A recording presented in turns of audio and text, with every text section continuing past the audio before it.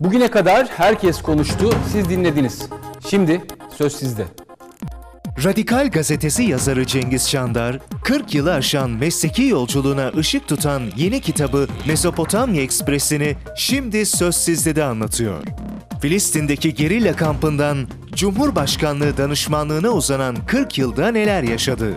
Arafat'tan Talabani'ye, Barzani'den Öcalan'a, Özal'dan Erdoğan'a kadar pek çok isimle yaptığı özel görüşmelerde neler konuşuldu?